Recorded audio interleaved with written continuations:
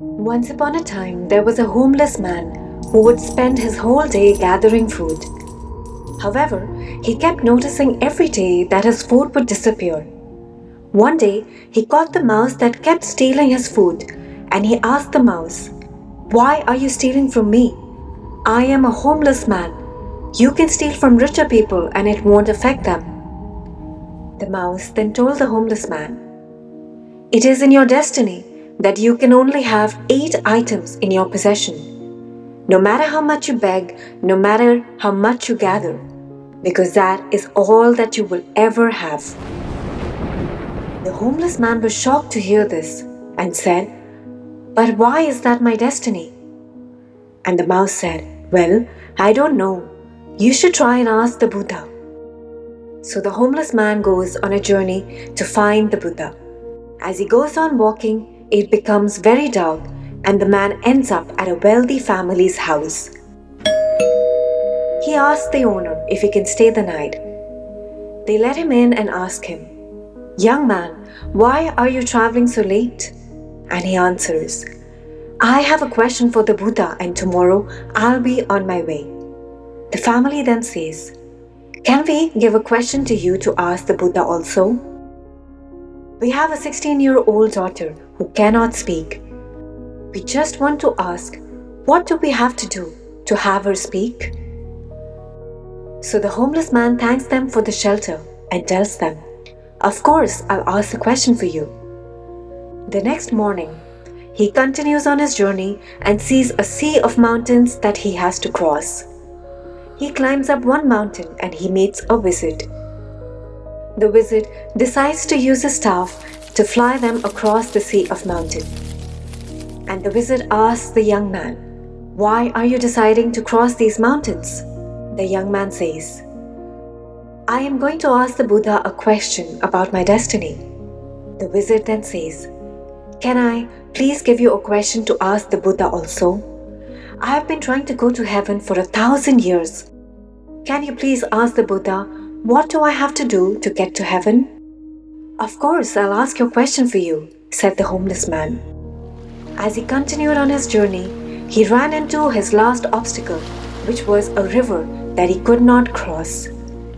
Luckily, he met a giant turtle who decided to take them across the river. As they were crossing, the turtle asked, Where are you going? I'm going to see the Buddha. I'm going to ask him a question about my destiny. The turtle says, would you please ask a question for me? I have been trying to become a dragon for 500 years. Can you please ask the Buddha, what do I have to do to become a dragon? The young man thanks the turtle for taking him across the river and says, Of course, I'll ask your question for you.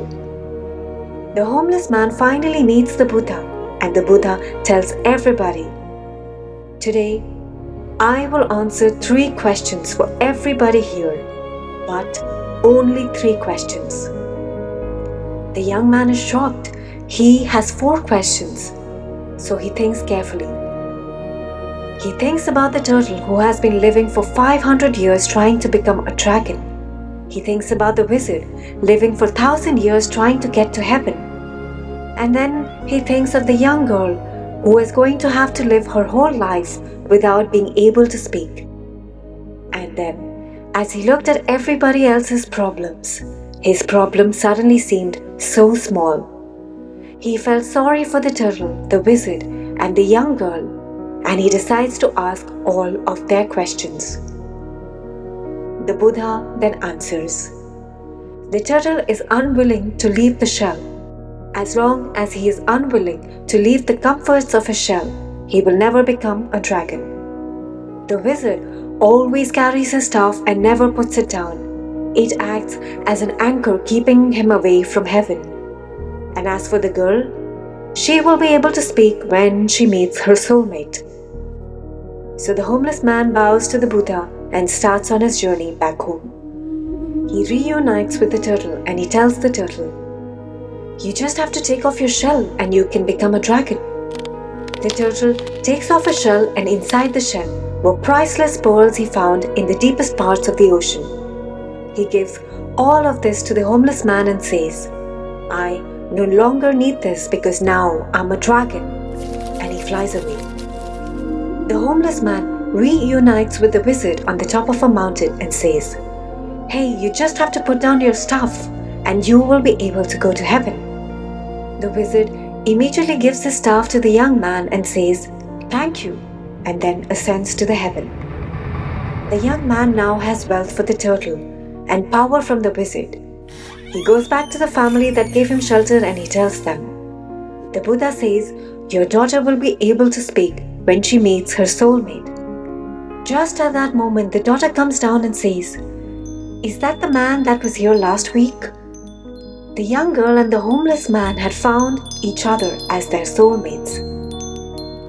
And the homeless man suddenly realized that one selfless thought for others had changed his entire destiny and bestowed upon him everything that he could wish in his life.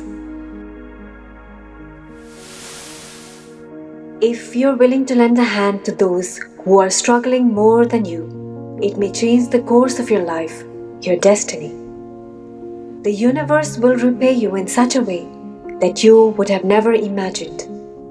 All the good that you do in this world will come back to you. It will certainly come back to you. Thanks for watching. And if you find inspiration in wise words and stories, please subscribe to my channel for more. And stay simply wise.